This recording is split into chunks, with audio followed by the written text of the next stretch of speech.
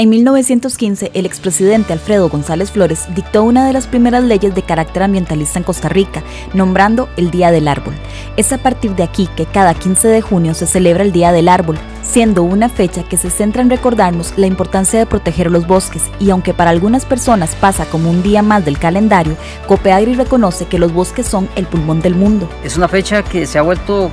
eh, en algunos casos la gente la, la, celebra eh, para hacer propaganda, pero yo creo que no, más que propaganda tenemos que ser eh, nosotros muy responsables. Hoy más que nunca, o sea, más que nunca la responsabilidad de todos los seres humanos, así como nos dicen con el COVID, por favor, mire, todos con mascarilla, todos con el distanciamiento que se requiere, todo lavándonos las manos. Bueno, así también hoy con el medio ambiente tenemos que ser responsables. Y no solo son con los árboles, es con todo, es con la fauna, es con los mares, eh, es con las lagunas, es, con todo, es con las zonas eh, urbanas, en toda parte donde el ser humano interviene, debemos ser muy, muy responsables para que podamos garantizarle a las futuras generaciones de que van a encontrar un ambiente igual o mejor al que nosotros hemos tenido.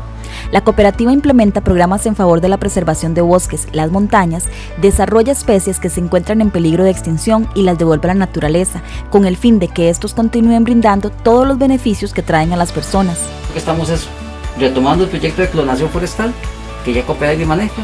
y la idea es volver a reproducir los materiales de medina que teníamos, volverlos a analizar y ver cuáles de estos que presentan mayor resistencia a esta enfermedad que es ceratocisti, que ha atacado mucho a, estas especies, para ver si logramos volver a, iniciar nuevamente con, el programa de mejoramiento genético